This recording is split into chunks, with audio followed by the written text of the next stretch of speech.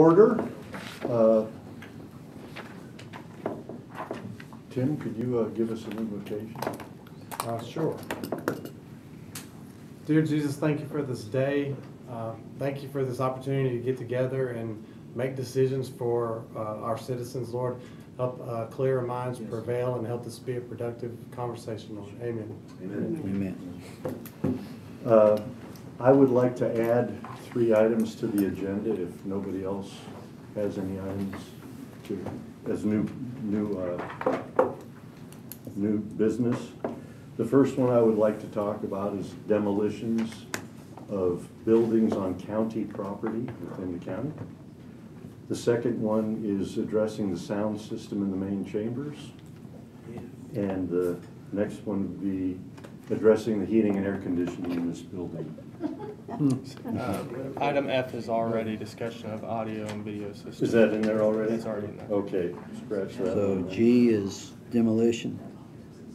Yes, So then H would be, would be The AC. HVAC, Okay. heating and air conditioning. okay. Where's that at? Let's get out of it, you got it. Adding it. We're adding these two. Does anybody else have something they would like to add to the agenda? Could I get a motion to accept the agenda? Motion to accept. Tim seconded. Sure. Uh, All in favor, say aye. Aye. Opposed? Okay, the approval of the minutes, I guess we just acknowledge that we had them since this is our first meeting as general operations. Uh, You would vote to approve based off of form only, not as to the content. Okay, somebody make a motion? So moved.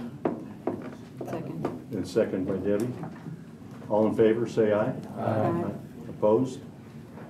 Okay. Uh, Report from me, I've got not a whole lot to report, except that um, I'm convinced after the past week that this is at least as important as any other committee in the county. Uh, We've got a lot of big business to take care of. Uh, And I'm grateful to everybody who's here at the table and everybody who's in the audience to, uh, to discuss things. Um, We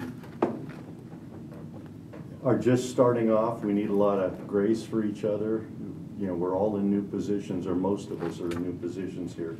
So I'd ask that everybody hear each other out and let's have some good debate that will be for the purpose of all the citizens of Sumner County. So that's really all I have. Uh, Mr. Mayor, you have? Um, You know, I, since we added these to the agenda, I'll just wait till we get to those items and share what information I have, That'd save be time. great. That'll be great. Okay. uh, Recognition of the public. Is there anybody in the audience that would like to? Yeah. When you come up, please just give us your name and Do your I address. sit or stand? You can do anything you Okay. want. I'm J.K. Brister, and I live at fourteen eighty-nine Upper Station Camp Creek Road in Cottontown. Um,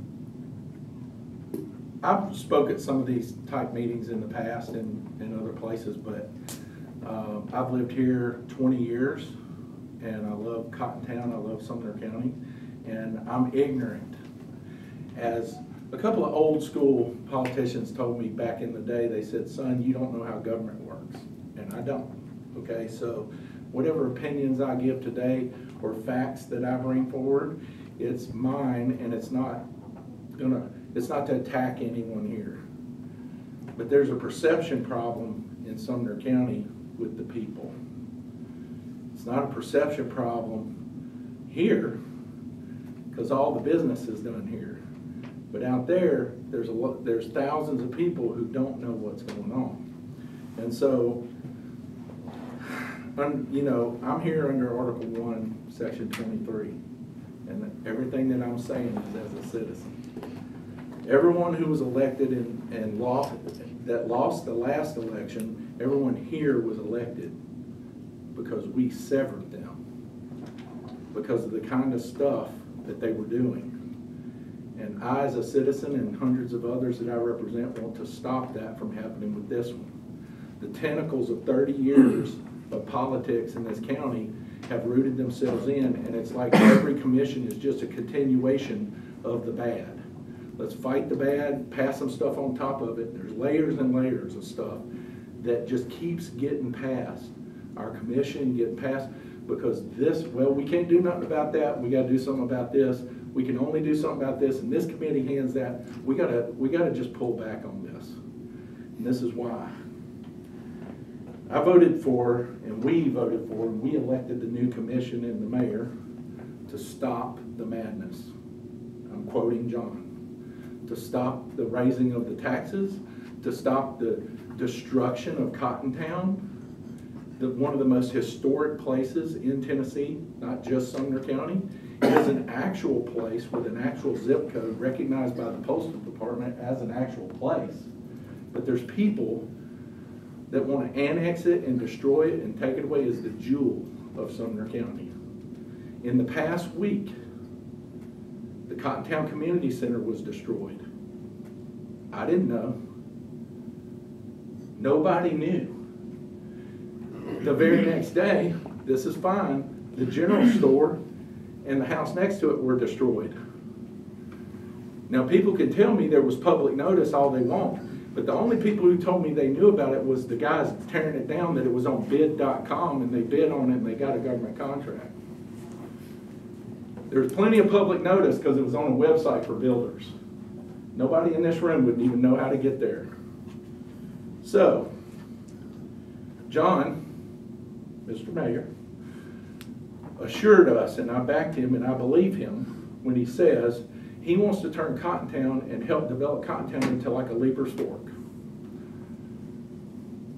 Well, Anthony and the former commission want to bring a greenway all the way from Long Hollow, all the way down, and allow Gallatin to come into Cottontown and eat it up, and allow Portland and all these other cities that are doing it to themselves to destroy our country. We came to the county to live in the county. We bought farms to live on farms. I did not buy all the acreage I bought and invest in, in Sumner County and Cottontown, Tennessee, and have my kids there and want to die there. So somebody could say, we need to build a new school for cities that are overgrown. I didn't do that. And by the way, I haven't talked to one person, I've talked to over a hundred of our, our Cottontowners. And not one of them said, yeah, I can't wait till that condo is built next to that sewer pipe that Anthony Holt put in, so I could, I can have a condo next to my farm. Nobody did that. Well, there's some stuff going on that bothers me. Three weeks ago in a, in a, in a committee meeting, the destruction of our school came up. And Jeremy over there brought it up, and it was explained away. They knocked down a bunch of stuff, but then they got rid of it, a bunch of spending money, but the schoolhouse, three weeks later, is gone. Today I went out there and there's a wrecking ball and there's a crew tearing down buildings around the old post office. I videoed it, we posted it. Now, apparently the post office is staying there, but the house next to it is being torn down. That, see where I don't know what's going on? It's not important that I know what's going on. It's important that the people who represent me and my liberty and my freedom and the cotton Cottontowners and Sumner Countyans know what's going on. We elected this county commission not to be smarter than us and know what we need and do their vision. We need to know what's gonna happen and we need to agree with it. And I promise you that ninety-five percent, probably being conservative, of people in Cottontown do not want overdevelopment, apartments, sewer lines, and all this fire stuff being put on the front of our farms. We moved to the county to be self-sufficient, and we ain't asking for it. So Gallatin and all these cities can stay where they're at. I'll, I'll try and wrap up here. The sewer line currently being jammed down the throat of the citizens on the other end of Upper Station is going down to go to Liberty Creek. Well, guess what happens when a sewer line gets put in? Historically, you can look at anywhere. Annexation. Over, overdevelopment, okay? I don't know why it's happening, but I know that man that I fought for and these people that I fought for to be elected here Every one of them told me this wasn't gonna happen.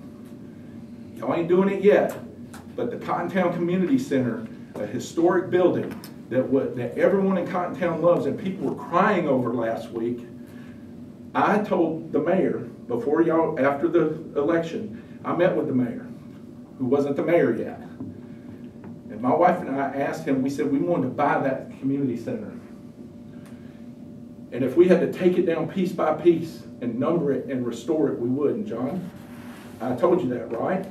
And he said he would make some calls and get back to us. We, no offense, you're really busy, but he never called. I ain't calling you out, I'm just saying the facts. Then I call him the day they're tearing it down, and he comes out there and meets me. And he he didn't realize that they were tearing down that building. He said, you're talking about these two buildings? I said, no, the community center down here. What I'm saying is, I don't think the left hand knows what the right hand's doing. If somebody doesn't know what's going on, I don't think we should be tearing down historical buildings where 95-year-old men and women are saying, I went to school there. That's my point, right? So, saying all this, give me some liberty, Mr. Hyde, just for one minute, sir, okay? In my humble opinion as a citizen, all business from the former commission and anything that the commission did in history should be sent back, if it's not understood, should be sent back to the commission and put a huge magnifying glass on it completely. You do not have to continue diseased decisions from former commissions. You don't have to do it. This commission must protect the county and the citizens by not continuing any business until the complete grip of what is actually going on happens. Business as usual does not work. It does not work. And I know this seems kind of naive to people, but try it. Nobody's gonna complain that y'all ain't spending money for a while. Nobody's gonna complain that buildings aren't being torn down and apartment complexes ain't being built. Nobody that lives here and pays taxes. The commission cannot secure and protect the jewel of Sumner County, Cottontown, or any other part of the county by continuing the plans of Anthony Holt and the city mayors trying to devour it. It just ain't gonna happen. I didn't move to Sumner County to have a mayor. I didn't move to the county, I didn't move to Cottontown to do that.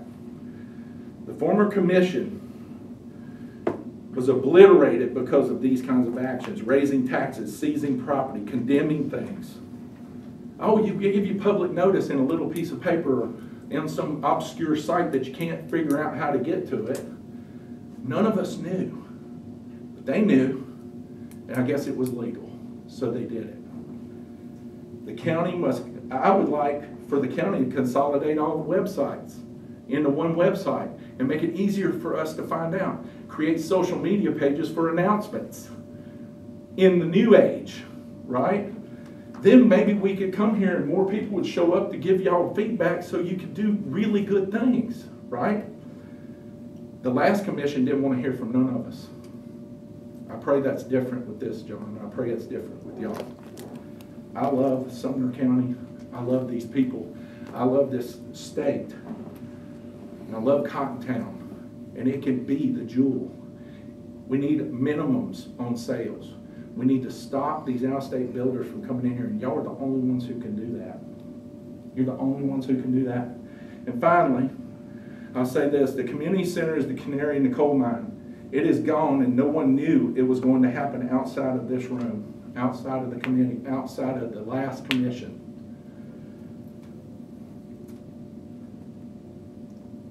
And there's people in this community, we've talked to them the last couple of days, I think Anthony Holt was the best thing that ever happened, and he told them he was gonna develop everything. That's a handful of people versus everybody. I urge, and as a citizen, I would like to try to compel you to save Cottontown and the county. We need this. Our kids need this.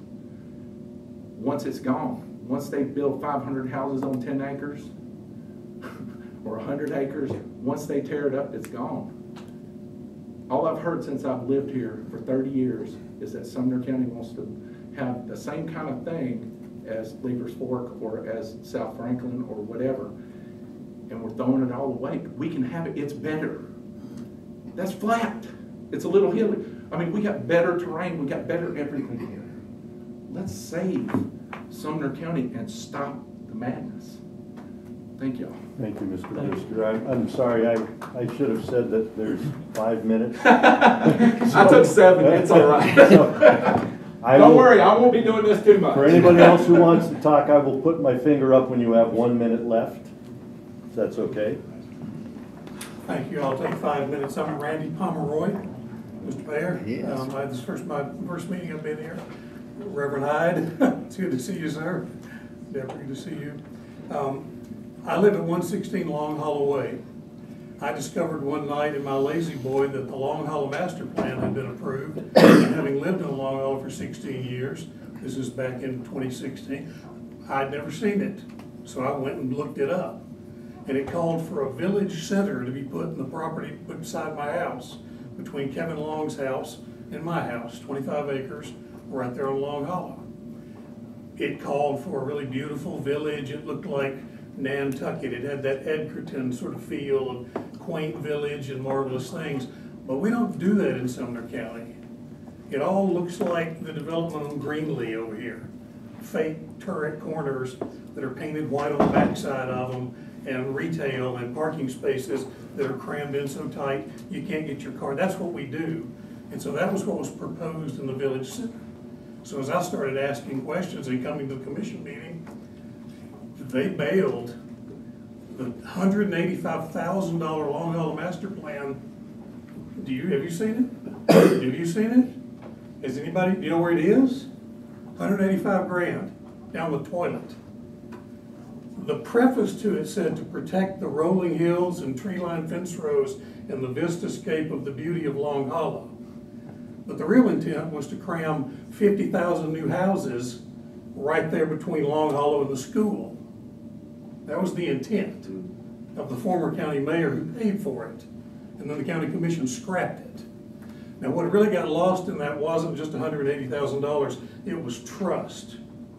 And I watched one night with amazement where you almost had to defend yourself physically in the hallway for saying that when you all negotiated with people in the school down here at Station Camp, you went and sat down in their living rooms and you talked to them about what was coming and what needed to happen and you found cooperation and you built trust. And all that went away. And one of the commissioners who's no longer here argued with you that night that they had done it the same way, but they didn't do it the same way government had lost completely its, its way. And when I heard after envisioning a trip to Puckett's, I was in Franklin two Saturday nights ago. And the people I was with, they live in, um, um, Holly's parents' name, I'm gonna blank on, it, I'm sorry. But the house is for their family. She's right on the square in Franklin. And they complained about the historical commission and all the things they had to do until they finally said, but look how well it works. Because everything in that city looks like it should be there. And you don't do anything that's not supposed to be there. And I had somebody down there tell me, there's a difference from down here and up there. The difference is down here, the land's worth more than the money, but up there, the money's worth more than the land still. And until we find some kind of balance that says there's a sense of place up here that says we ought to stop before we tear down the hundred plus year old buildings in what might be Leiper's Fork. Puckett's was a by right. They could have bulldozed it easily. It was a by right grocery store, a white brick junk little grocery store. And now it's, it's like, well, my other favorite story, I worked for my own company, but I'd been at Opryland when Bud Wendell planned on dismantling the Ryman and taking it out to the new facility out on Briley Parkway and building a wedding chapel. And Maydeen Eberling, tiny little Maydeen that ran the historical commission, went to war with him and said that's the dumbest thing you could possibly do. And now the Ryman Auditorium is world renowned as the place you go for music if you're a performer or an audience member. We gotta find what's valuable about this county and do something so that the shadow government that keeps tearing stuff down and waiting to pave a greenway in people's side yards, I don't know why the sewer's not finished yet. What they're waiting for, I don't know, but it's still sitting just like it's in. Every time they stake something else, I think, has somebody else claimed they're gonna just come in there and concrete a greenway in it? I mean, It took a judge to say it's a separate take.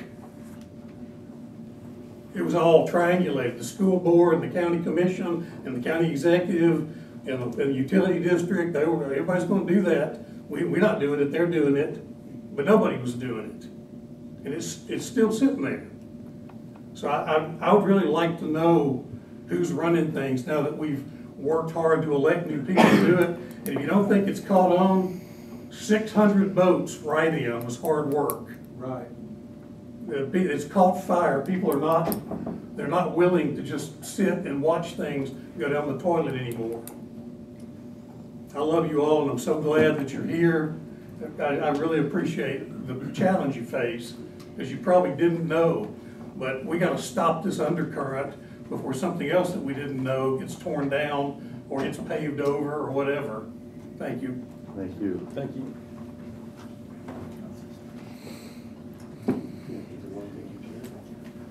I have a comment, Okay. and I apologize, I meant to take care of this for tonight. You have an item for IT to surplus computers. I met this young lady this week, she works for Electronic Recycling Solutions. It's a place for people with autism and different disabilities.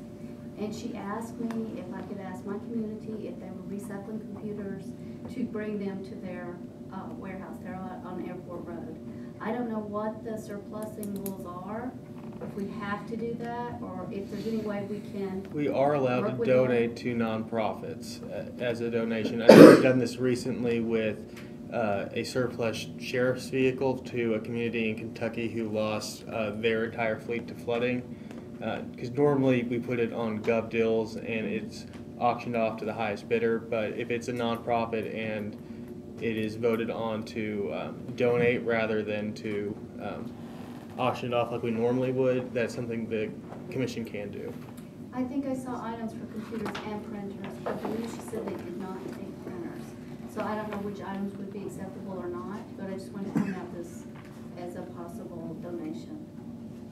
Is there a limit as to how many they would take, or how many we have? We don't wanna overwhelm. We would need to Them with a find, bunch I of can, I, junk. I'd be glad to take the lead and find out if you guys wanted to Uh, just the- pass on that for the moment. Surplusing computers is something that deferring for a month wouldn't cause a headache for anyone if that's what this committee would like to do. I mean, do we try to sell these normally? Uh, you put them on GovDeals, people bid on them. Generally, you're not getting very high prices for things that go on GovDeals. Um, just one, I don't know how old these particular computers are, um, but you don't get the best prices on those auction sites. Now, a private, private enterprise would get a tax write-off. Where does that, Uh, you know, we don't really pay taxes, so we don't have so to. there's no, There, there, the incentive is, if you wanna help a nonprofit, that, no, I, I like that idea. Re- That's the reason why I asked is how many, uh, would they need or would they take versus how many do we have? And maybe they take some and we auction off the rest, or, or we give them all of them. I believe know? this is a full-time operation they have there. I don't know how quickly they work on computers. I could very well see that they could put them on the shelf until they had time to rehab them or whatever they did. Well, you need to get the information I as can to how find many we out. have. Yeah. Do you have that? No, I will get it for you. I meant to. No, you need our information as to what we have to offer. It's Oh, yeah, on the look list. It's on the files. list. It's I'm- on- I'm at yeah, it's on that 35 list. right You now. have it. Yeah, About I'll look at thirty-five the file. computers? So, That's all. Thirty-five computers? Ish, if I count it quickly. Yeah, you got a bunch of them And you too. got Oh, no, some there's another scanners page, and printers. sorry. I knew there was several pages. Forty. Thank you, Around forty. Commissioner Boyd. Anybody else? Going once, going twice? Gone, thank you, all who spoke. Okay, uh, old business, there's none. So, new business, I guess we'll start with A, since we'll just follow on, on Terry. Uh, Does, uh, does anybody have a motion regarding uh, what to do with these computers? if you were wanting to take her, uh, suggestion, what I would suggest the motion would be is to defer to next month to find out what the needs of this nonprofit are as far as donating. That way you can specify what you're donating and what then needs to be put onto GovDeals that, you know, they might not need. I'll make that motion. I'll Make second. that motion, have a second. Okay. I got, All- I got a question. Is there also a way to find out what the possible revenue is for the uh, auction? Is it roughly a hundred dollars a piece, or is there an average, or looking at past auctions, or no way of knowing? They They can normally make don't. those. That, I've heard that part, but like, would it quantify that statement, like fifty dollars a piece, a hundred dollars a piece? I've never personally I don't gone know the back and quality looked of at the computer. just doing GovDeals. I'm sure there's a way for the IT department to look and see what they've done in the past. Is it worth it, is what I'm getting at? Yeah, I think you're wasting a lot of time. That's, Yeah, Yeah, that's what I I- wanted to hear. yeah. Yeah, I mean, we do have history of doing this in the past. It, uh, I'm sure it would come from the individual department who surplused it and they could, Yeah. So maybe if we talk to IT, they can tell us what's happened in the past. I mean, if you're talking fifteen hundred dollars a piece, it may not be worth anybody's time to research anything. It'd be a good thing to, Yeah, yeah, I, I, Possibly I, done. I agree. We, we can ask them though and, and see, I'm sure they'll, they'll have a number for us. pretty So I, easy. I spent some time and talked talked to Kyle Brown about that. Okay. Um, I didn't get a number from, from him, other than they do, we are able to recoup some cost. Uh, he wasn't familiar with exactly what everything average goes for. Uh, the average age is somewhere like four to five years, uh, old computers, and so the reason why we're getting rid of them is because the operating system, well, the, the computer doesn't support updated operating Not- system, not so upgradable. it's, it's not, uh, current equipment, so, uh, I don't know that it would be worth a lot. I Also did some research on, uh, e-cycling services, just for the county in itself, and, uh, it doesn't cost anything to do that, but then we miss out on the revenue, uh, piece of that, even if it is minor. Yeah. There's still an opportunity to recoup revenue, but I do like Commissioner Boyd's, uh, recommendation, you know, to, if we can donate some of that to a better cause, and I think we should do that Within and be community. responsible. Yeah. Mr. Chairman, I- Yes, I'd like to make a suggestion. Uh, Being in the position we're in of making a responsible decision on disposing of government property, I think that uh, the one thing we need to know is not here. And Commissioner Boyd uh, alluded to that, and that is date purchased.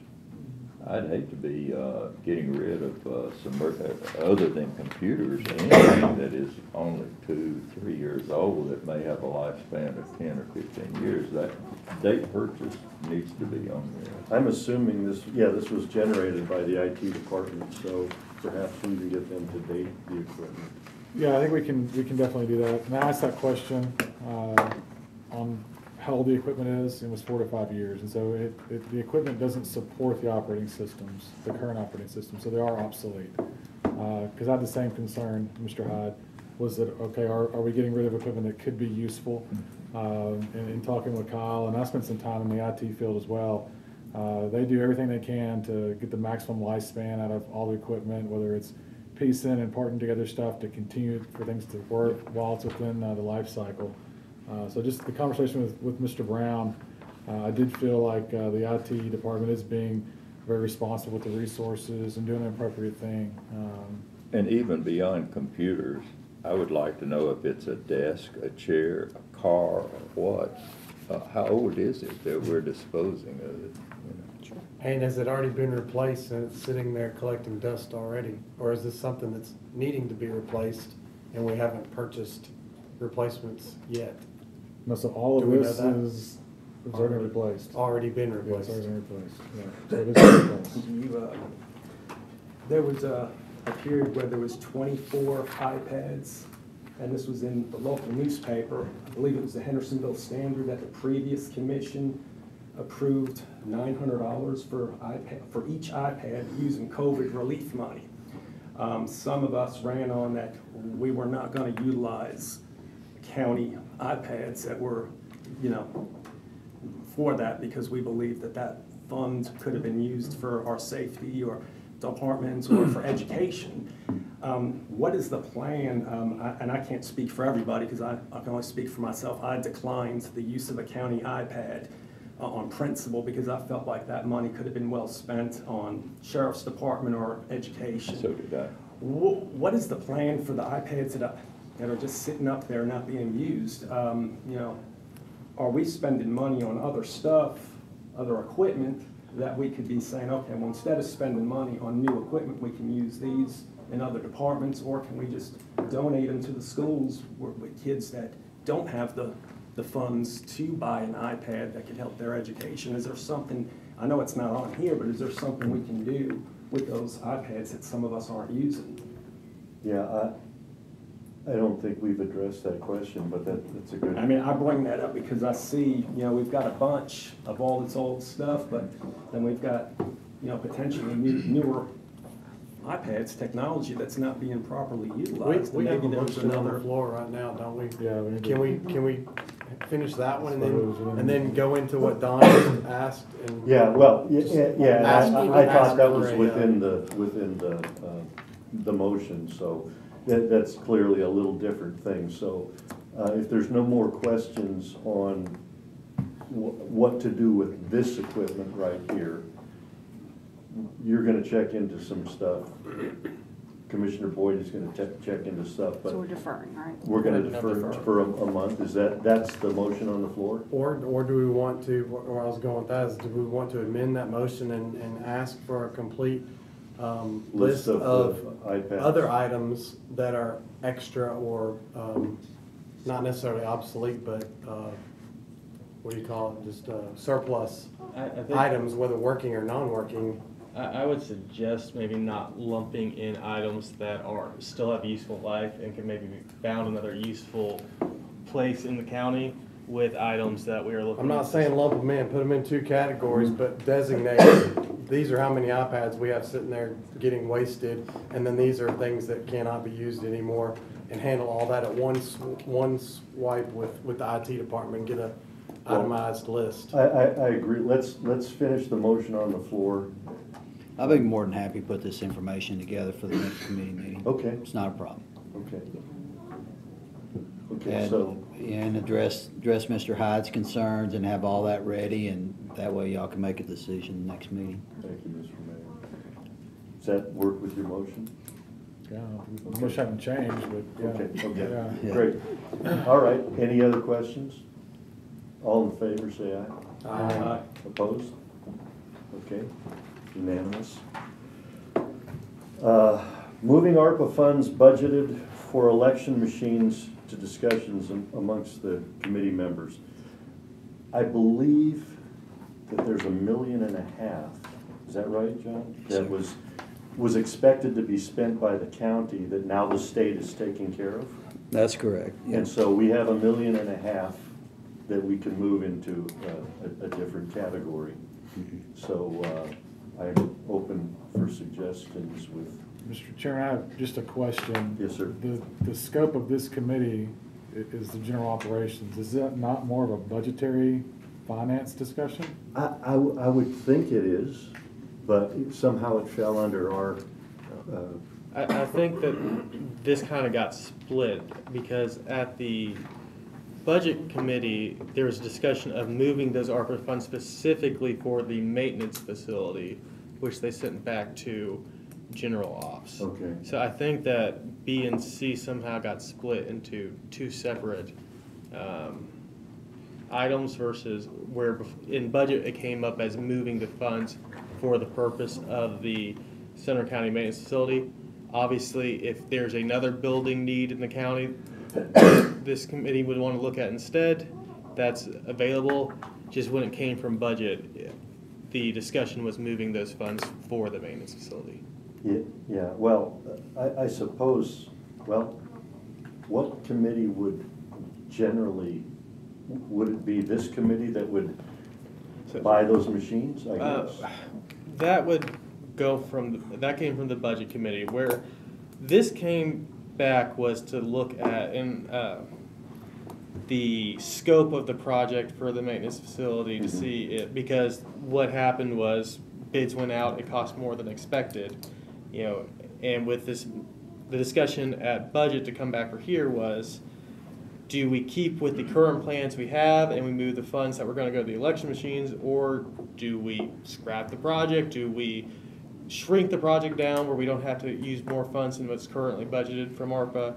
Uh, That's what uh, I remember from the budget committee. Yeah, so the thinking is since we're a million dollars over budget on, on the, on the, Mm, that That service building. this could not potentially cover that gap Okay. Mr. versus Chairman, I- maybe if it's a smaller I don't think that it would go to budget because budget is really a clearinghouse.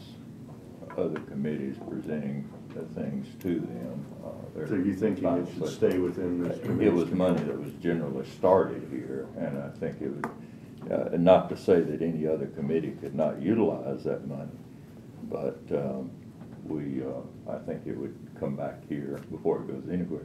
It may be a good idea to, uh, just, uh, pass this over for tonight, uh, especially with time being limited, and to ask, uh, uh, commissioners, uh, since this is federal money, if, if they have some um, good ideas for usage of this money and, and let everyone participate. There may be some things we're not aware of that uh, someone has a good idea on.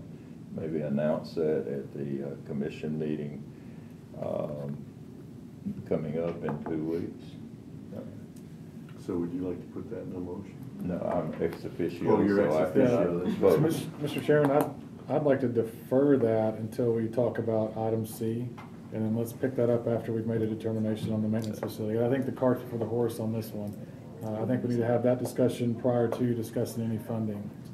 Okay. We don't really need a motion for that, as long as there's not an objection to just coming back to item B after. Okay, then let's, let's move on to, to C then.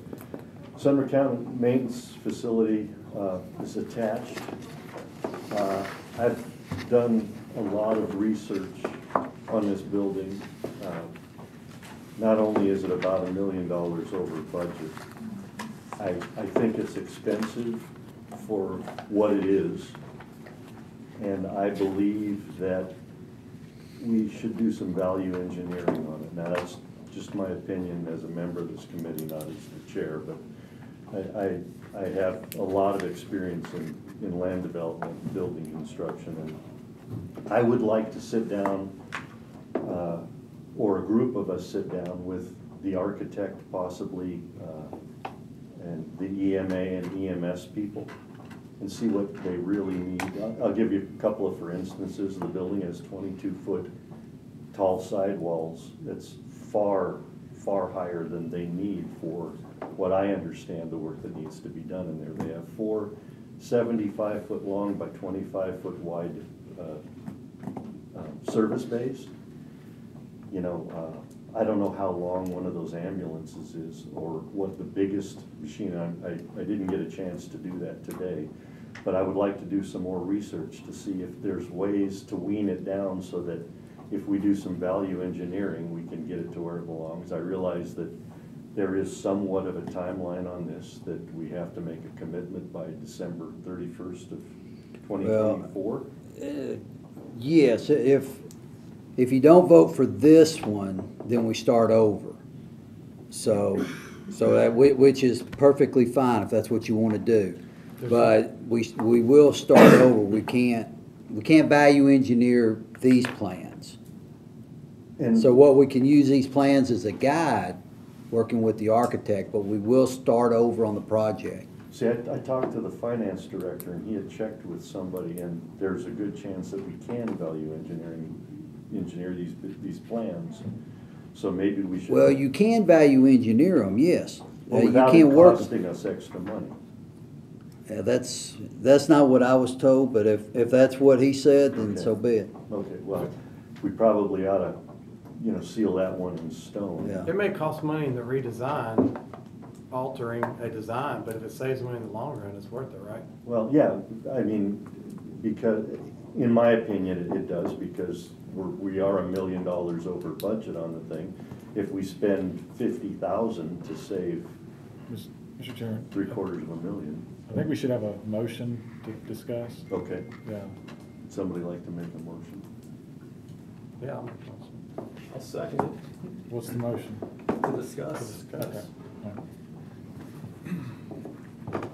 And, and maybe we should add to, uh, postpone the, uh, the decision on this for this night, since this is our first meeting, so that we can do some better research. We, we have a lot of, lot more questions to answer, so if, if you could pose the, the motion as to defer it for another month to do research. Sure. While, while we're doing research, Mr. Chairman, uh, I, I think it would be appropriate to, I, I, as it stands, you can count my vote as a no for this bill. Uh, but I, uh, I think that it would be appropriate for the chairman to appoint an ad hoc committee that could earnestly start looking at things or work with the architect or do whatever is necessary to bring that back some additional ideas, not locking out anything else. But I think an ad hoc committee appointed by you, Okay, uh, on this committee would be very appropriate. okay. Uh, So I, I just want to put out there and the, we've got to have something for the maintenance to get out of the basement. A hundred That's like, percent. that's a mis, and so we, I feel like that is a, a burning need. Uh, not a want, but a need to get, they have to get out of the basement. And so I think we really have to be cognizant of the time that it's gonna take. Yeah, no, we need to Yeah, so expedite it's, it, and it's I gotta agree be with you quick, hundred and we gotta percent. be, move, move, move, you know, uh, so I just wanna put that out there, and then, uh, um, what is the timing on the ARPA funds? Well, we've got time on the ARPA funds. I- If you totally want to re-engineer and all of that, you've got time, uh, is my understanding. So we can, you can start over. Yeah, I don't think we'll need to start over, but I think we, we need to really talk to the people who need to use the building. Mhm. And, you know, they definitely, the guys that work down in the basement definitely need more space than they've got. And the, these conversations have happened, just to let you know, because, you know, the, all the links, the heights have, have all been discussed with EMS and EMA. Yeah. For their needs. I think the ad hoc committee that That's fine. The commissioner. Okay. The square footage of this building, I know, because you've got a lot of extensive experience in this. Yeah. Is the square footage of these plans based on today's need? Or are they trying to project what's needed ten years from now and just building something bigger today? I, I think that would be, best be answered by the people who specified the design. It, it, I mean, for instance, they have two mechanics and they have four service bays. That's obviously, you know, they're looking into the fu- future where they need more mechanics. I would say the, the maintenance area is, it's grand, and, you know, if, you know, if we're going to continue building schools and, and doing all the things that they do, it's, it's, it's designed for the future, and that's wise, but we also have money we have to be concerned about. Well, that, yeah, that's what I'm And concerned so, with. the so extra- there is a happy medium there, we, we just need to find it, and that's the way it'll be done with the, uh, value engineering. So, do we vote on the motion to, to push it down the line a little bit, So- and then talk about the ad hoc committee, or do we? You can just defer it and then just name a ha- Yeah, ad hoc it's- committee. You, you, you would Yeah. vote to defer, like you said, then the ad hoc committee can be separate. and You can even uh, instruct the ad hoc committee as a subcommittee from this one to meet before the November meeting. And we just have to notice that meeting and uh, Okay. get all that scheduled. Okay. Well, then, if, I'll- Yeah, I'll make that motion to Okay. defer till next I'll month second. and we'll look and hear what the ad hoc committee has to say in the meantime. okay, any discussion on the motion? Yeah, Yeah, yeah. Uh, all in favor of the motion, say aye. Aye. Aye. All against? Okay, passes unanimously.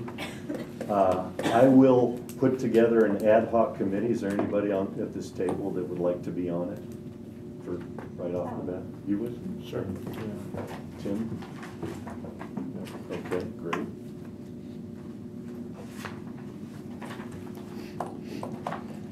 All right, next item. Oh, sorry, Mary. Regarding your ad hoc committee, Mhm. um, I would like to see a citizen, an engineer on your committee that is, uh, has had experience building, building large buildings, kind of give the perspective, not just from, not the don't experience, but just people, someone in the business that citizen that has a neutral thought process that could serve on the committee and help you make a good decision. I think that's a great idea. Do you have anybody in mind? Yes. Okay, you can talk to me about it. Mr. Chairman, how many people are gonna be on this ad hoc committee? Uh, Let's say seven. Is that all right? That's a lot of chiefs. I gotta, I gotta look. You gotta look, that's too many. That was like a look. Uh, I think five. I'm new at this, so I'm, I'm all ears. Three or four, okay, seven, you will have a long project. Yes, okay. And remember, you, you have thirty days on this. Let's, let's say four, because I like lots of opinions. Well, that's four right there then. We got four then, Okay. all right? You plus four or four? Four. He doesn't necessarily have to be on. Are you gonna be on it? Yeah, I was gonna be on Well, then, we already got four it. then. I guess I gotta pick, so. Yeah. We need five if we want a citizen engineer, because we got one, two, three, four. And you, you choose, Okay, you know, between them. all right. I can do that. All Let us know if we make it. We make it. Four-ish. four- Four-ish, four-ish. four-ish. Just like have an odd number of ties. I like that too, five's a good, uh, hey, five, five's a good odd number, keeps it from being a tie in any kind of decision right. And making. that's true. So, go with what you got, plus an engineer, you got five. Okay, we'll, we'll do that. We'll do four plus an engineer. Mr. Hyde, what do you think about that? It's just wonderful. What'd he say? She Wonderful. said it's awesome. Okay. All right, uh, administration building security needs, this was, uh, something that was brought forward by our, You wanna circle back to B? oh, you're right, back to B. Takes a village. Uh, I would assume that we would defer that to next month in case the ad hoc recommends going with the existing plan. Motion. Second. Okay, any discussion on the motion? All in favor? Aye. Opposed? Passes. Okay, who made the motion? The motion? Wes? Win, yeah, made Wes. Deborah made the second. Okay, uh, Ben, Sure, I, I can explain why I reached yeah, out to go you. ahead. I don't know how many of you are aware, um, it was, I think the day before your meet and greet, when you all were sworn in, uh, we had a uh, fugitive in the building who, uh, several Gotts police officers came. Uh, he was in the, at one point in the ladies' room across the hall from my office, trying to cl- uh, climb into the drop ceiling uh, to get away. And uh, we found out because, well, we've been threatened enough where we actually have a camera that lets us know when people are coming up to our office. Um, and my assistant said, if you guys watching the camera, a bunch of police officers just ran by with their guns drawn, and we was like, oh, everyone in the back. and uh, we had people in the hallways who had, you know, there was nothing in place to alert employees or citizens that, you know, find a place to take cover or don't go, you know, don't walk into the bathroom while there's someone trying to climb into the ceiling. Um, I just brought this up. Any plan of action would prob, would be coming from the county mayor working with EMA, but it may require some kind of technological purpose for some kind of security for the uh, building. I'm not necessarily suggesting that we have, you know, armed sheriff's deputies here at all times, but the thing that I kept hearing around the building from very um, kind of shaky employees was, I really just wish someone would have told me, you know, stay in the office, and there was nothing to do that. Well, I was here when all that happened, and when I, after the police came through, I was going to personnel to deliver my information for being a commissioner. Their door was locked, and everybody's door had, had been locked, so I don't know how they were notified. But, We were not no- notified on the third floor. oh, you weren't, okay. We, uh, Okay. like I said, we found out something was going on, and my assistant said, "Are you guys watching the uh, the monitor?" And well, then we watched the monitors. We saw uh, that they're, had their guns out. We said, yo, let's go in the back where if someone, start- if anything starts shooting from them or someone else, anything stray, it will be somewhere a little more safe than with three inches of drywall between us and that door where they're all standing. Yeah. This was sheriff's department? Uh, the, it was Gallatin PD responded. They responded in a great way. I'm not. I do not have any complaints about their response. It was just we didn't know that there was something going on in the building that you know. If we didn't have the monitor there, we could have easily walked out right then. To you know, someone could have been go to the bathroom right then. We had an employee who was actually in the bathroom at the time, uh, not in my department, but. And, and Ben and I had some correspondence about it, and I said, has this ever happened before? And the answer was no. It was kind of a fluke, because the guy was in a high-speed chase, and he crashed outside the building, and he ran to the first building. So this could have happened at a grocery store, it just happened to happen here. However, that being said, probably we should at least consider if, with as many people, public and hired by the county, if this is something that we should spend money on to protect the people who were in the building at the time. And, uh, you know, I would, i- if that's something that the county mayor's Is there, is, is there even a proposal as to how Yeah, you what even kind of do that? Because you can't lock the doors being a public building. It's a research. thing. Notifying anybody would be a challenge because the point of notification have to be outside of the point of break-in or, or attack. So a speaker or anything like that, a text alert, maybe something like that to where departments can notify each other, whoever sees it first. But I don't think there's like a lot of money that could be spent to make it any safer.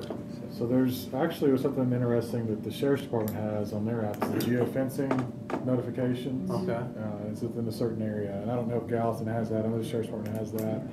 Uh, Something to that degree would, But what would would that serve do a to you purpose. if to notify you somebody's coming in the There's, building? there's something going on, there's a fuse on the loose, uh, whatever's happening in that area. So if you're within a certain proximity, you would get notified on your phone. With the sheriff's app? Yeah, with the I sheriff's just app. downloaded that, so Correct. you could, you could actually set that up yourself? Yes. So it's a point of public education for the people that work here, just to download the app? One, one thing that I asked IT if our system could do, and they told me it couldn't, was if our phone system had an intercom function where obviously you wouldn't give every employee the ability to intercom all the desk phones Mhm. in the office, but, you know, a few select people in the building, like, you know, the county mayor, or whoever, had, they had the ability to, you know, hit a button and, you know, everyone's speakerphone goes off, hey, you know, lock down your office. Um, we do not have the capacity to do that with our current phone system. Uh, but that was, that was about what I was thinking. But you would literally have to have everybody because he may not see it, or she may not see That, it. that's why I would think it'd be more, it'd be at least a few people.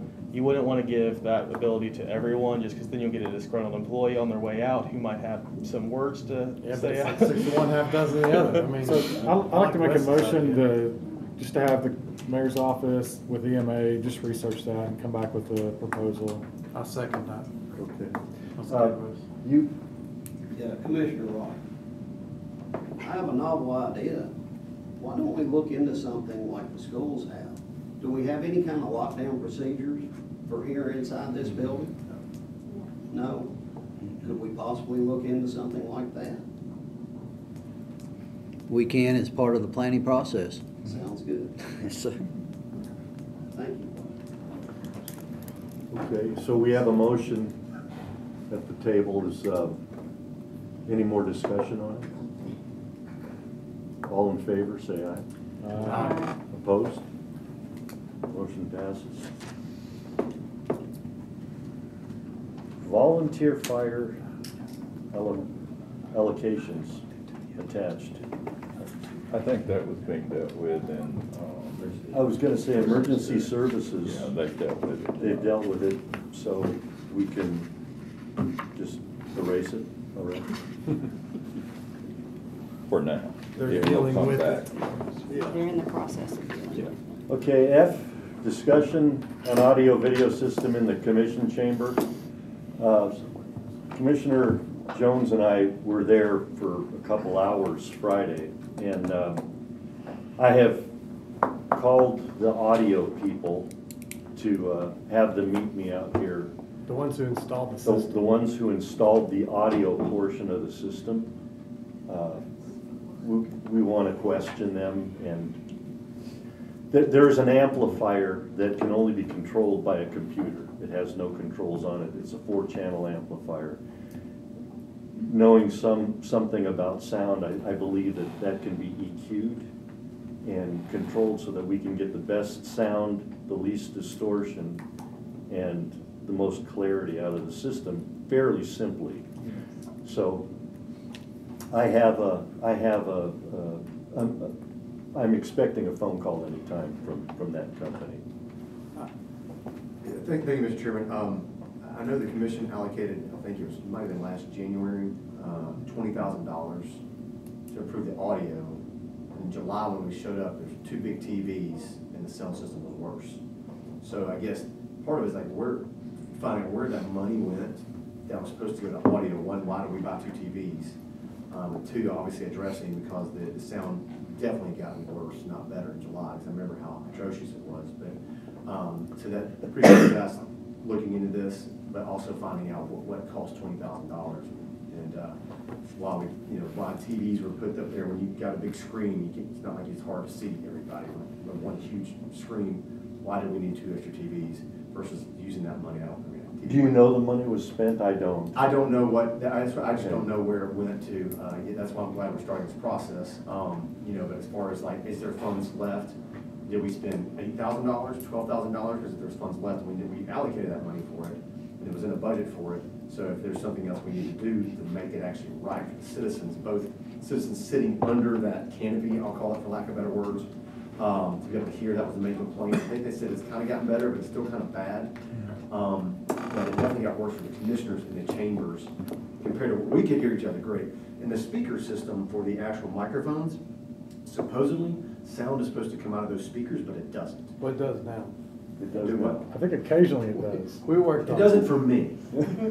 Well, we, we- We, we worked on that a little bit. There's, Okay. there's volume There's a controls control. on that. There's a Okay, couple good. different systems in play. The one that's underneath of the, um, overhead, uh, The those are on a ceiling. different, uh, amplifier, different system. The ones that are projecting off the wall towards the microphones, which everybody who knows anything about sound knows that causes feedback and distortion, need to be either turned straight down or put on the front of the chambers, pointed back to the audience to hear them, because we don't need to hear them. We've got our little microphones and we can hear enough, because we're close to each other, with just a little bit of, of, Okay, uh, for of sound. But these are the questions we're gonna ask the audio person. We need to make sure that the people that was contacted, uh, back in January are the same people that we're talking to now, and, and follow up with where that money was spent. And yes, I agree, anything that's left over needs to be put towards this, uh, redesign or reworkings of the system to make it work right.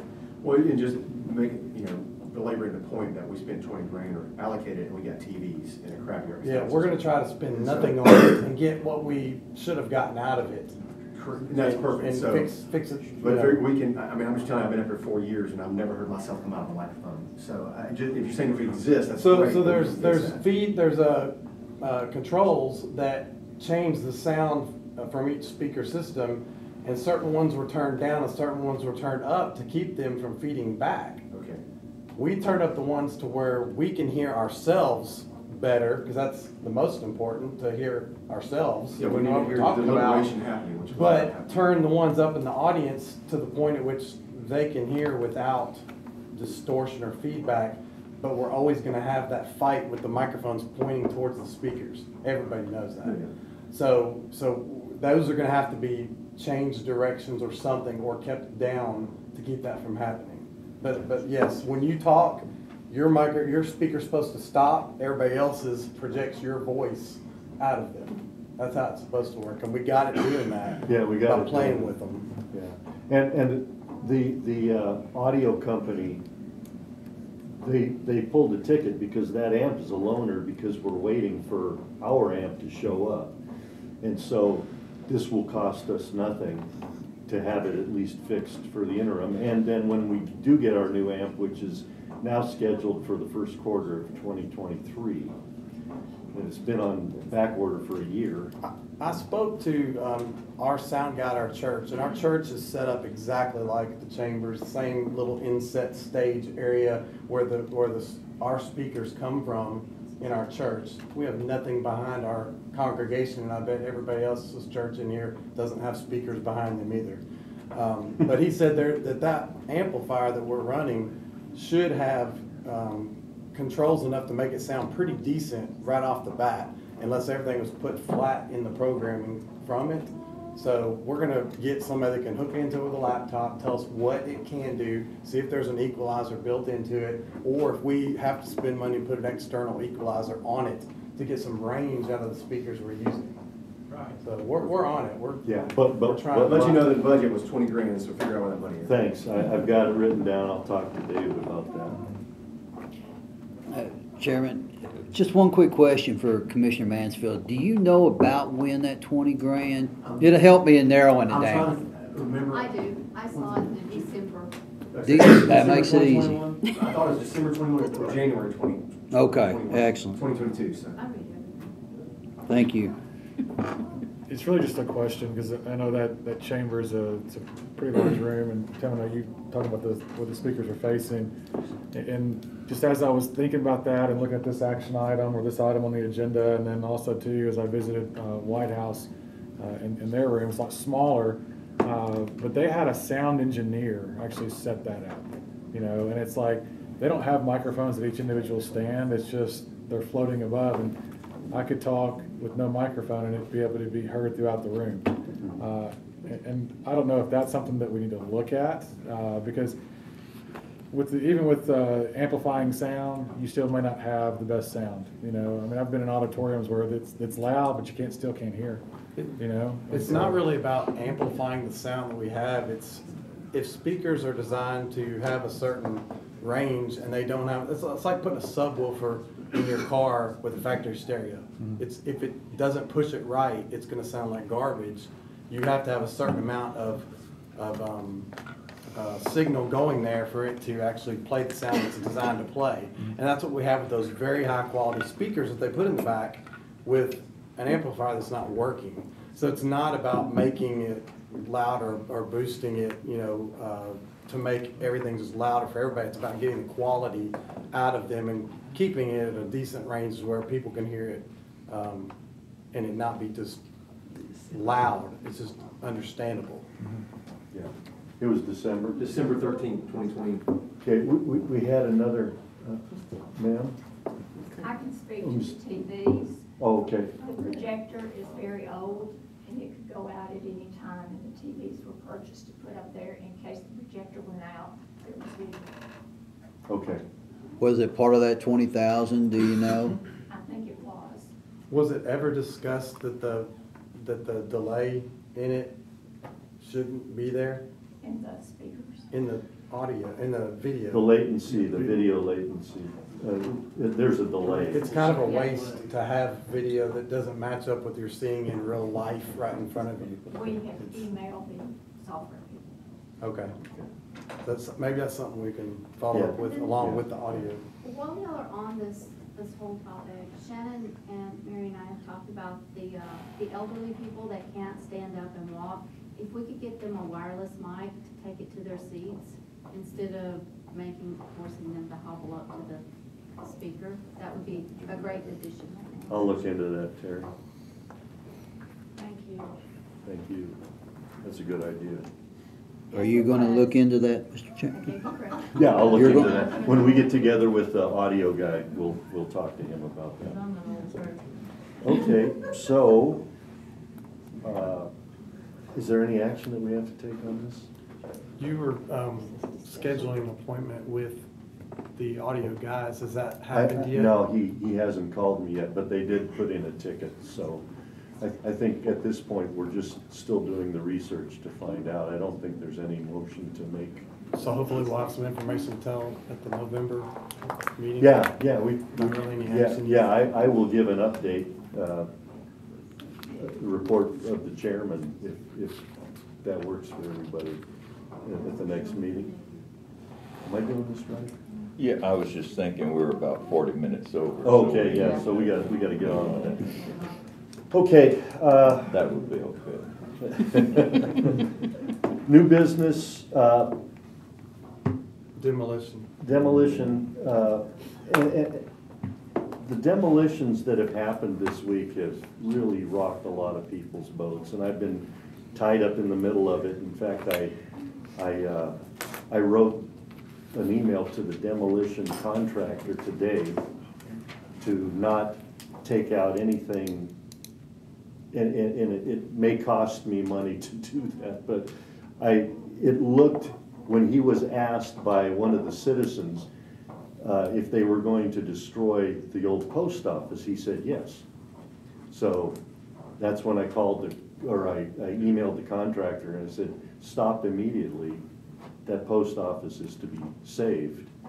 And so I, I want to talk about this body, this committee.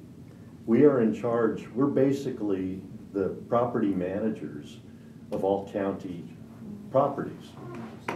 And I'm trying to get a complete list, but I did get one from David Lawing last week, and I think there are some things missing. For instance, the, uh, the community center in, uh, uh, on, on Highway twenty-five on Hilton Lane, that's adjacent to the fire department, Castalian Springs, that's not on the list. And I, I don't know why. The fire department is, but the, and they're on the same piece of property, so I think what I want to do is I want to finalize that list, and I'll, I'll do it with county mayor, I'll do it with, with any entities at the county, so that we do have a complete list.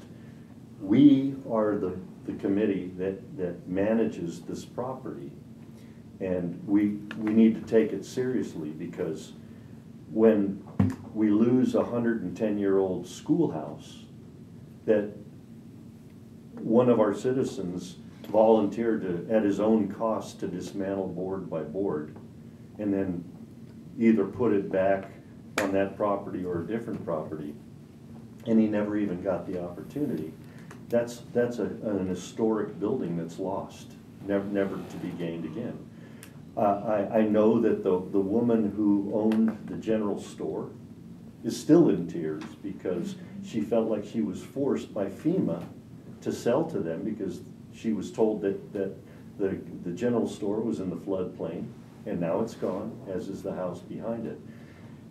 I think we have to consider a resolution or some legal instrument that this committee has to go out to a site that is going to be demolished or even considered to be demolished.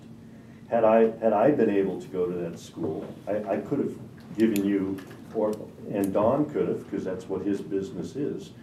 We, we could have given an assessment of whether that, that building was really, should have been condemned or was salvageable. And we, we need to put the instruments in place so that we can make sure this never happens again. And so, I'm not sure how to move forward with creating a document. If it's a resolution, I'll be happy to, to write it with, you know, with the help of others. I think, Mr. Chairman, uh, I, uh, I'm in complete sympathy with uh, the old buildings being preserved and saved, uh, because I, I'm an old history teacher and I save everything old. I've got too many things that I've saved.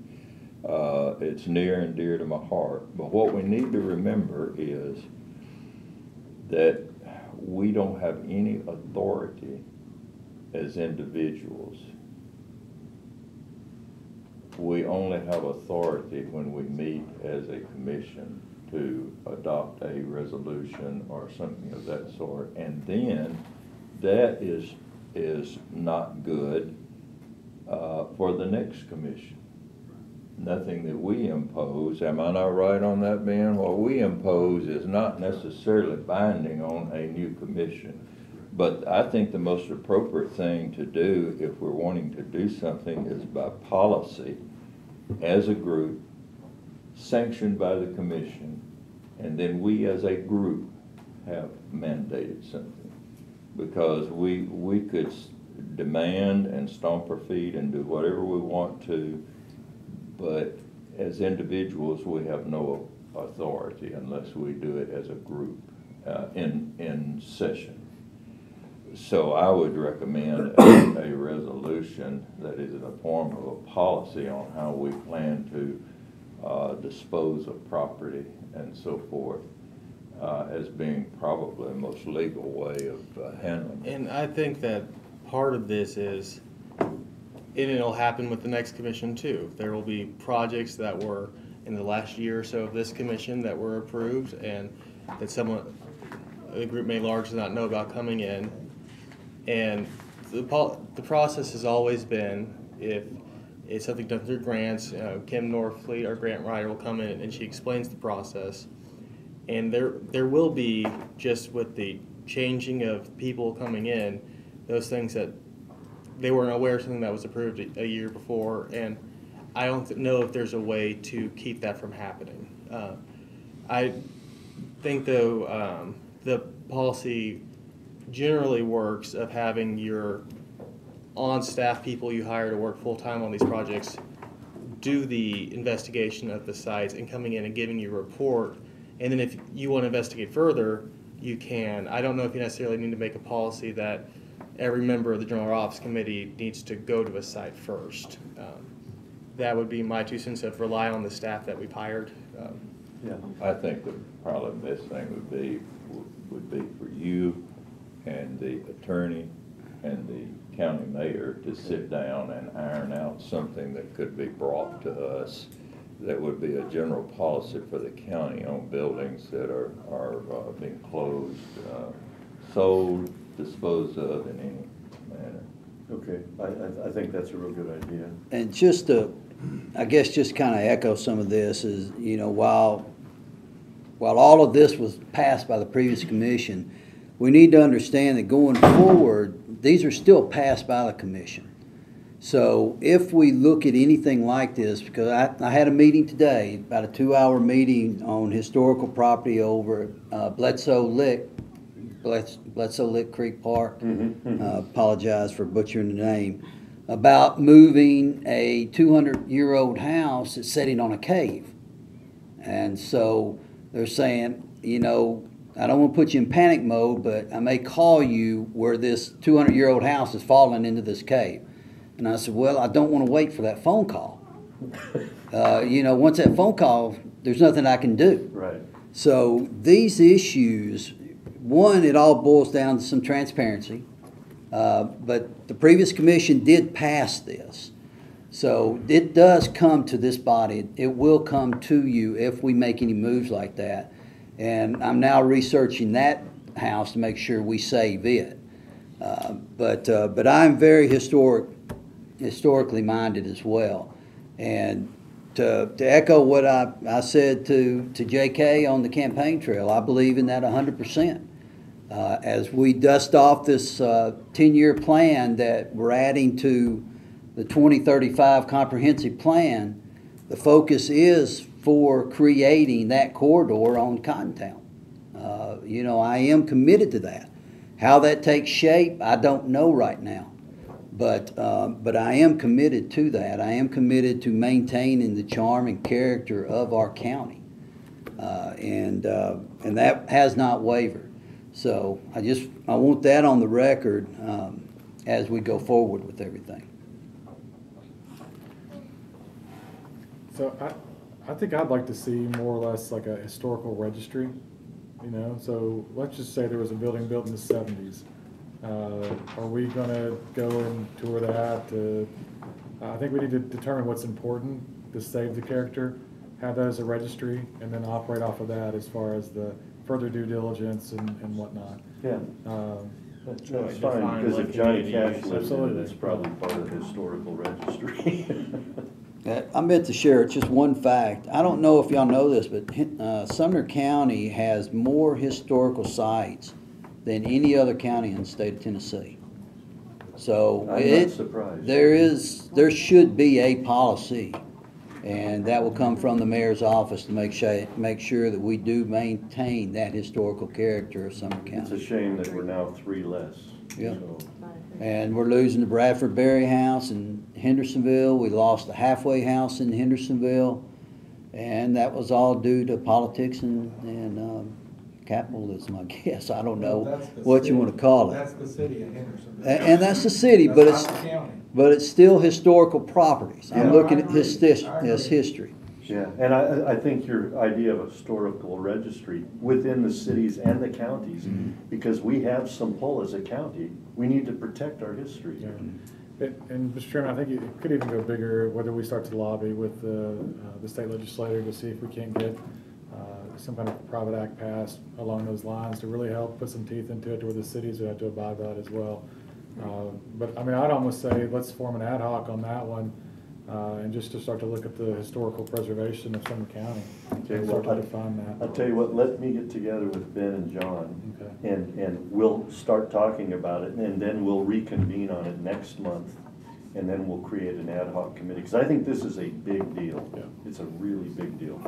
Uh, Two questions. Do we have a full stop on any demo- demolition from here going forward until we There- talk about it? There are no demolitions going on, other than, the next, the next phase of, of this particular project is moving the, um, moving the post office to higher ground. Now, what about? And that's part of the parks Well, plan. The, the second question was gonna lead into this, just to educate the public and somewhat me too. A lot of discussion's been talked about and, and heartache and everything. Why were those buildings destroyed? Why would they dem- demolished? Just to get it on public record, so people watching this can Mhm. understand what's happening. Can somebody address that that knows the most about it? Kim Uh, Fleet would probably be the best person. to Kim, would you like to explain it? Um, This process started in 2017. Um, We were approached by a number of the property owners, three to be exact, um, regarding repetitive flooding that had occurred due to Station Camp Creek. Um, And so they approached the Building and Codes Department, which at that time was the floodplain manager, uh, Marshall Wright. Those three property owners wrote letters um, to the building and codes that they were interested in a voluntary uh, acquisition. It's through the hazard mitigation grant program that comes in when there's been a federally declared disaster, which in this case there had been with the 2010 flood, and then also that they had flooded in 2016 and 2017. So they'd had at least three repetitive flooding events, which is a requirement of the hazard mitigation grant program.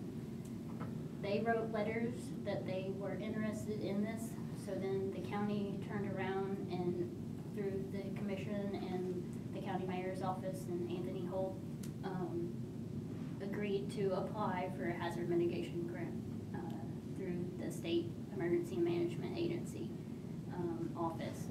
We have submitted that application in April of twenty eighteen. Um, with anything that's FEMA related, it takes time.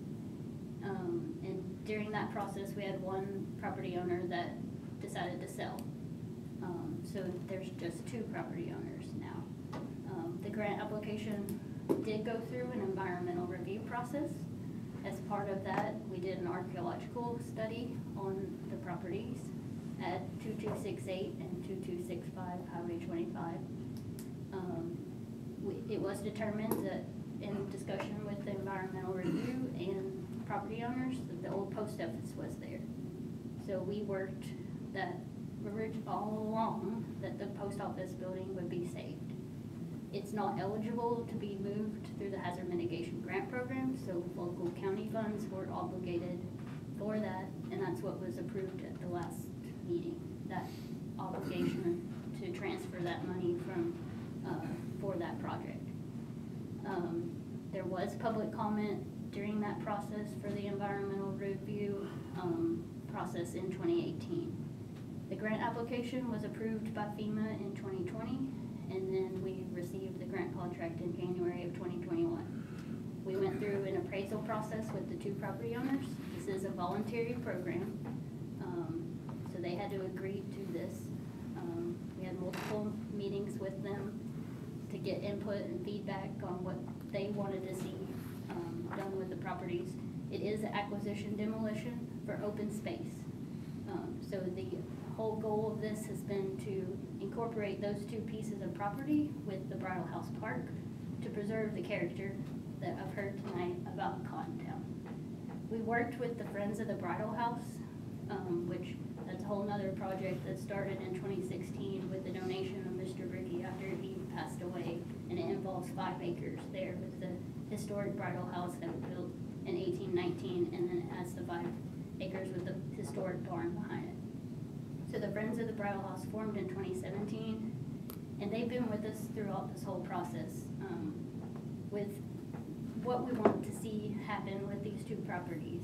As part of the parks plan that was mentioned in twenty ten, we met with the Friends of the Bridal House. We had public meetings, um, discussion about what the future of the Bridal House in Cottontown area would hopefully look like as, um, its, its, improvements, future needs of what the park would need. Um, And we talked about these two properties, incorporating them. Eventually, one of the long-term goals is to build a, a bridge across Station Camp Creek to connect those two, so you could utilize the park property. Where would the Um, money for that come from? It would have to come from either grants or, or, um, local county funding. Like I said, it's in the plan, it's a long-term goal, nothing's set in stone, but the community has, some, some of the community were, did provide public input as part of that process. How many people came to that public comment section of that meeting? Do you have any idea? I don't have that. How many people spoke? Five or ten or Exactly. twenty or I mean, thirty? we have the Friends of the Bridal House, there are approximately forty members with the Friends of the Bridal House. We've been working with them, um, throughout that, that process, but that, nothing is set in stone on, on what would be. You had mentioned one of the property owners decided to sell. Was that also with the um, group that asked for FEMA funds to come in and, Um, Take out the he- property? He didn't wanna wait that long. no, um, I'm, I'm saying, so- the person that bought it, they wanted Okay, so once to go somebody along buys plan- it, with they, that plan also. the clock starts again for the repetitive flooding, so. But they, they opted for it also, the person that bought it? No, uh, once the person buys the properties, this, this, um, is put in place so people don't just come in and buy flooded property and try to make money off of it. So once somebody buys the property, the clock starts over. So this new property owner would have to flood at least three times in order to be eligible for. So the new c- property owner's still there and their property's intact? Yes. Okay. So they got taken out, the three ca- became two, and the third one got taken out of the. The grant. Hazard mitigation grant, correct? Yeah. Do you have time to meet sometime next week? Sure. What I'd like to do is, is write a synopsis for everybody in this committee, because I know, I know things that we're not discussing, but because it's so late, I would rather, But the, the properties there, they did go through an appraisal process. The property owners were offered the fair market value of the pre-flood. So, it- loo- looking at, it never flooded a day. Um, so the property owners were given that, that fair market value offer of just compensation. And those properties closed in, uh, March of twenty twenty-two. So then we've been working towards, we did a hazardous and um, material survey, asbestos survey of the, of the structures um, in April and May of this year. And then it was advertised for bids on the county website um, for the demolition services. And as part of the hazard mitigation, I did mention it's acquisition demolition open space. So there are restrictions on the two properties that we purchased in March.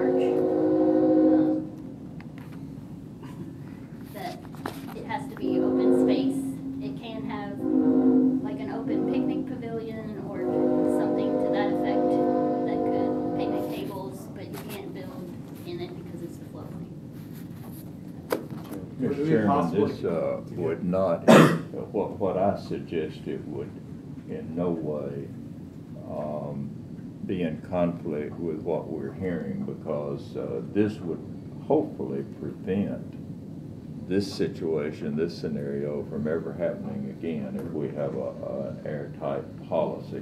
What happened here was, this happened with the previous commission. Uh, the contracts were signed, um, money appropriated, and, um, assignment to people to demolish the building, obligated to people to do that. Hopefully, if we can do an airtight policy with, with sitting down with these people, this kind of thing will not happen again. So can I confirm, is there, there's nothing else like this in the works in the county? No. No. This was So- the only. No. Just wanna this is our confirm that only for every- current open hazard mitigation program Okay. where grant, where the property owners came to the county and wanted to voluntarily, uh. So, have their purchased okay, well, property let me, so anything that, would, would the county seek out something like that? Or does the, the property owner have to come to you in Typically, order to start the Property grant? owner comes to us through the floodplain manager, um, it- which is this point, Marshall, um, Different Marshall. and this, this Marshall, Marshall Boyd. Hey, Marshall. Um, who is the county engineer. Um, and we have had people come that have had repetitive flooding, but typically you try to have more than one, because the process is the individual homeowner cannot apply themselves. It has to come through the county. But say the county doesn't go and seek out those Correct. particular properties? Yes, like I said, it started in twenty seventeen when those property owners came to the county. It's a voluntary program. They were at the point where they couldn't do anything with their properties. They'd flooded repeatedly. Um, one of the property owners elsewhere in Sumner County because they couldn't keep pouring money into the property every time it flooded. So this is one program that Good place for a sewer. that, um, it benefits the homeowner because it does pay them the pre-flood value. I gotcha. So, Is Friends of Sumner County a public Mm-hmm. entity? Just Can there, it'd be you fine. say who those people are? Like, Friends of the Bridal House? Friends of Bridal House, yeah. It's a nonprofit five oh one C three. James Wright is the, is the chairman. So there's like thirty or forty people in that group? Is it something I'm you can look up online or? I'm a member of the Bridal House. Okay. So is my wife, and all forty people did not show up to that meeting. We talked to most of them, and they didn't, they, they didn't know this was happening, didn't like Well, that's why I was asking how many people came to that public comments of it. I, I I was curious about that. Um, and I wanted to know what the names of those people were, if they were on public record, because they, they speak publicly, they have to be on there. Is there an agenda meeting we can look at and see mean, the, the parks plan, uh, the, there is reference to the board of directors, so the board of directors provided comment as part of that process. We also had the park survey that, um, hundreds of people responded to what they would like to see in a park. That's what the Yeah, park we know how one that I- house. Yeah, well, those are, those are. We know how those go. Those are very, um, directed. I am with Sumner County. What- no, What's your title? I'm the grants administrator. Grants and dis- Well, Commissioner Teachner, who is, that's his district, I know he wants to say something, because he's been standing there patiently. I would love to if you don't mind, Chairman. So there's a few things that are, that are troublesome. So the way that the other day played out, whenever that, that building was torn down, just, I'm gonna give you a quick history. So I, I was reached out to by multiple citizens, and they were just, they couldn't believe that it was torn down. One of the citizens was sitting back there, a friend of the bridal house, and he was told by our county mayor, he requested that he buy, they buy and purchase that property in order to save it. Okay, so just remember that. Um, and then we move on forward, and I was contacted by two other citizens, and they were worried because one of them went to school at that old, at that old school. And after it had been torn down, they were concerned, and they called the mayor's office, according to them, and they were told by the mayor's office that the old pump, the old water fountain, was, was actually in the process of being torn down, and said there was, it was gonna be demolished. It's what they told me, I, I No, that know, wasn't I- said. I'm just saying, this is what, I'm just repeating what I was told. So I had people really panicking, so I, I contacted, I said, would there be a way we could do maybe a, some kind of a resolution just to save it or move it, if that's the case? And so that, that was where that started. So then, um, a little time went by, and then the general store was torn down today, and, uh, I'm sure that, I mean, there- there's probably somebody that would have liked to have figured out if there was a way to even save a beam or the front of that, something, you know, from that store. but what I worry about is the, something feels off. And uh, Mayor, you mentioned the corridor that you support. And then also Anthony Holt, our previous mayor, had a corridor he supported. And so the support from that took some of this lady's land and she got elected after that.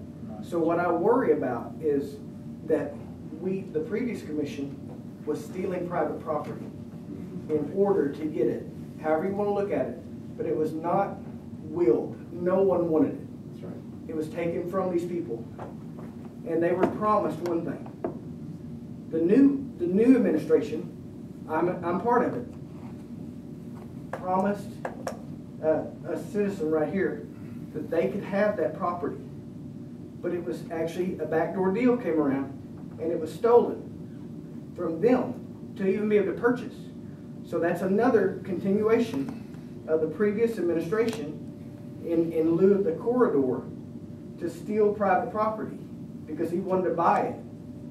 So what the problem is, is where does it stop? Because if, if we continue to say it's fine, and then tomorrow they tear down another building, and they tear down another building, and then they build another building, and then I just spoke with David Lawing, and he told me, he said, I looked at the, at the floodplain, and it doesn't even look like that community center was a part of that. So that's a problem. Wow. The So- community center is separate from the hazard mitigation grant. Exactly, but it was torn down as a part of the same thing. It was torn down to save on the cost, so you would bid it together. So it But was, has- Oh my gosh, it's even But- worse. Totally. But we had a citizen who would have dismantled it at his own cost, so it wouldn't have cost us a dime.